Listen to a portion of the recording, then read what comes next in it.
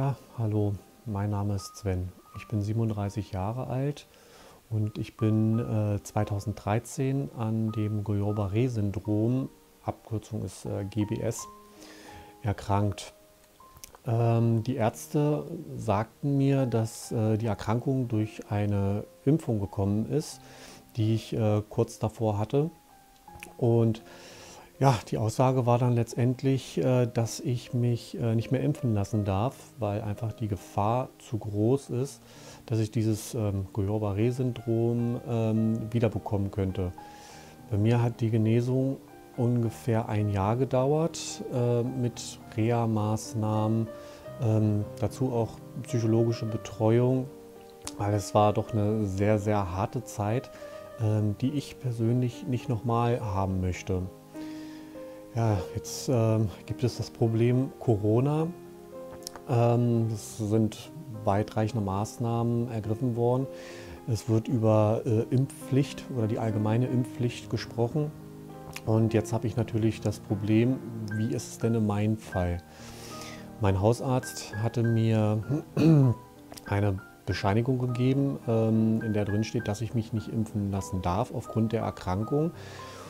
Und ja, das ist das Problem. Ich habe zwar die Bescheinigung, aber viele ähm, pochen auf ihr Hausrecht und sagen, es ist uns eigentlich scheißegal, ob, ob du eine Bescheinigung hast oder nicht. Wir ähm, nehmen unser Hausrecht in Anspruch.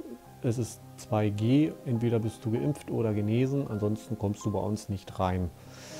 Äh, was die Politik sagt und was die Realität ist, das geht leider immer sehr weit auseinander. Und von daher habe ich mich mit sehr vielen Ärzten unterhalten und gefragt, Mensch, wie ist es denn im Fall, ähm, in meinem Fall mit der Erkrankung? Darf ich mich impfen lassen? Wie groß ist das Risiko, dass ich äh, wieder an dem Guillain-Barré-Syndrom erkranke? Ja, die Ärzte, einige sagen, nee, lieber nicht. Dann gibt es wieder Ärzte, die sagen, ja, auf jeden Fall, weil man, wenn man denn äh, an Corona erkrankt, auch diese Erkrankung bekommen kann.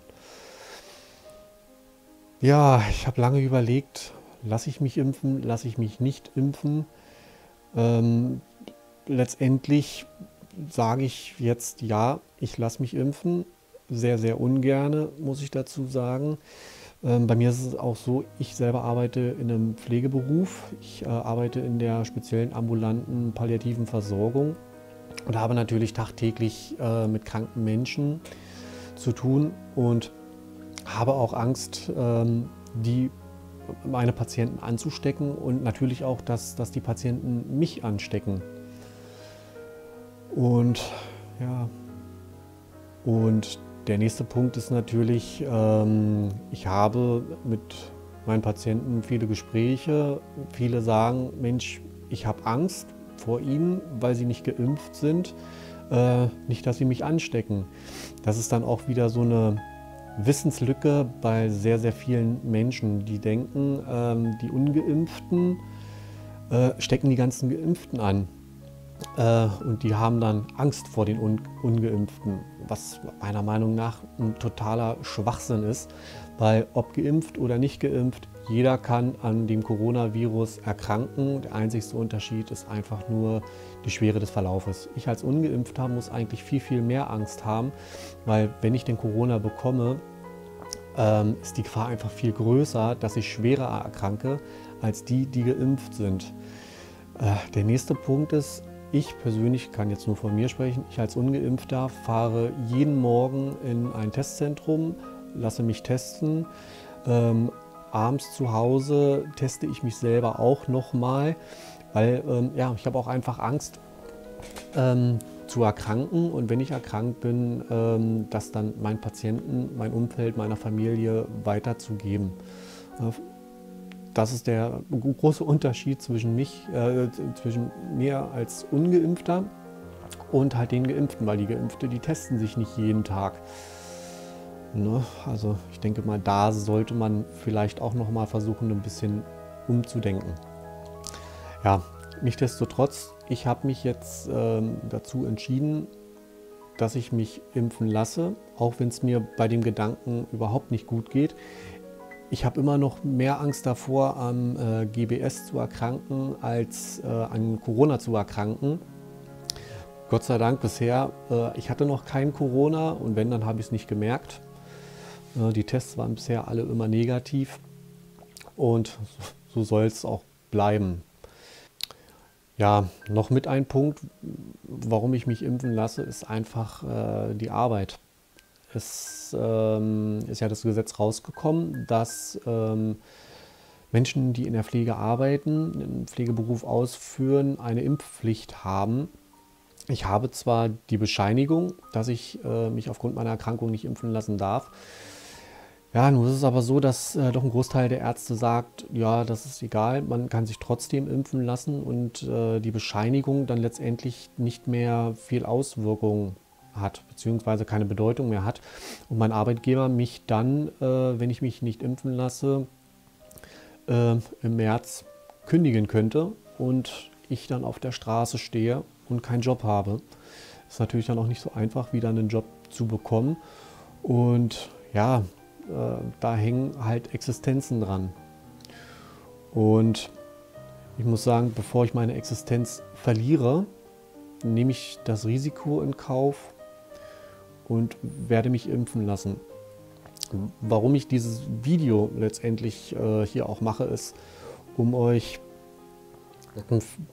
nahe zu bringen oder zu zeigen, dass ähm, es Menschen gibt, die diese Erkrankung haben, diese Erkrankung hatten und Ängste haben, so wie ich sie habe.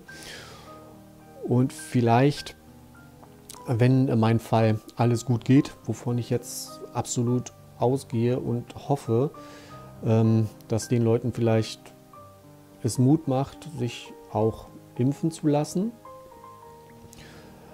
Ähm, ja, und denen dann die Entscheidung vielleicht etwas leichter fällt. Äh, ich will dazu noch sagen, ich bin äh, weder ein Impfgegner noch ein Impfbefürworter. Ich bin der Meinung, jeder Mensch hat das Recht, für sich selbst entsche zu entscheiden, ob er sich impfen lassen möchte oder nicht. Das ist jeden, das sollte jedem selbst überlassen sein und äh, das ist halt ein Bereich, wo die Politik uns unsere Entscheidungsfreiheit nicht nehmen sollte. Wie gesagt, das ist meine Meinung dazu. Ähm, ja, wir warten ab, wie es weitergeht. Äh, ich werde euch dann auch mitnehmen zum Impftermin. Heute ist der 17.12.2021. Das heißt, ich habe heute um 15.22 Uhr den Termin. Ich werde das Ganze mit meiner Handykamera ähm, verfolgen, werde euch mitnehmen und wie es abgelaufen ist. Ja, das seht ihr jetzt. Viel Spaß. So, ich mache mich jetzt auf den Weg. Es ist äh, gleich 15 Uhr. Und ja, jetzt fahre ich dann zum Arzt runter.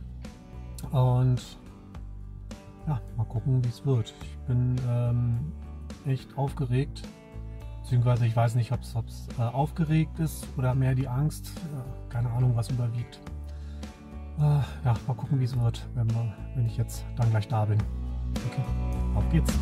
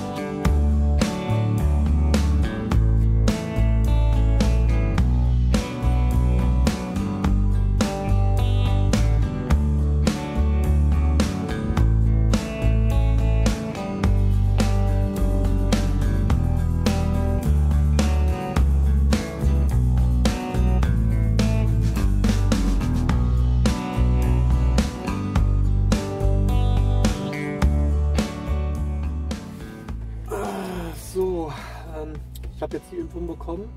ich wollte ganz gerne drinnen ein bisschen was ähm, aufnehmen und ähm, ja, so die, die Eindrücke bzw. meine Gefühle erklären. Ähm, Vorne im Wartebereich war es schlecht, da waren ziemlich viele Menschen, es war auch sehr laut und ähm, da wäre das einfach mit dem Ton nicht so gut gegangen.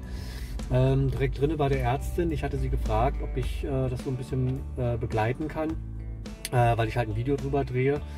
Und ähm, mit dem Impfen, ja, das ist okay, dass ich das aufnehmen konnte. Ähm, ja, ansonsten so Fragen stellen oder sowas, ähm, ja, sie, sie, wollte es nicht und ist auch okay. Ähm, die einen wollen es, die anderen nicht. Ist auch okay, ne? Ähm, wenn, sie, wenn sie nicht so gerne in einem Video sein möchte. Ähm, ja, was mich so noch nervös gemacht hat, ist, dass sie gesagt hat, äh, mit der Erkrankung natürlich äh, ist es echt doof. Ähm, aber für mich kam es dann auch so rüber, letztendlich ähm, bleibt mir gar nichts anderes übrig, vor allem in dem Beruf, äh, in dem ich arbeite, ähm, dass ich mich impfen lasse. Und äh, es hat schon wieder so ein bisschen äh, nachdenklich gemacht. Ne? Und dadurch war natürlich die Angst und die Panik noch größer. Und ja, ich bin eigentlich kein Mensch, der Angst hat. Ne? Oder relativ selten, dass ich Angst habe und die Angst auch zeige. Aber ich muss sagen, da drin ähm, ging es mir echt beschissen. Ähm, ja, sei es drum.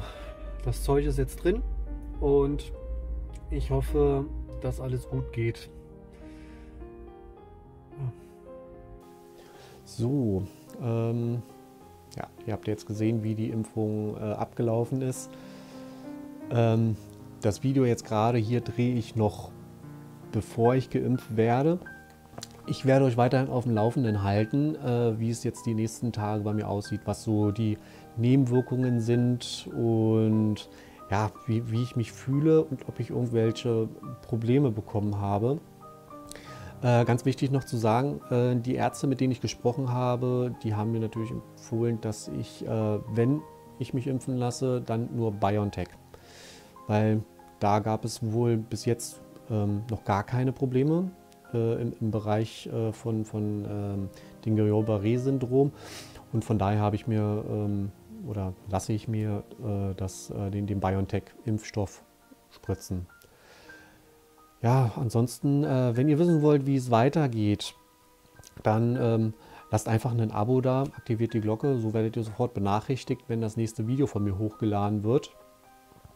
Und ansonsten, wenn ihr noch irgendwelche Fragen haben solltet ähm, im Bereich, was, was ist das Guillain-Barré-Syndrom eigentlich, dann ähm, schreibt es einfach in die Kommentare und äh, ich werde dann nochmal ein Video für euch vorbereiten, wo ich euch dann äh, gerne erkläre, was das für eine Erkrankung ist, äh, wie der Ablauf ist und äh, ja, wie, wie es denn mit den Heilungschancen ist und wie es bei mir abgelaufen ist. Okay, ansonsten wünsche ich euch erstmal noch einen schönen Tag.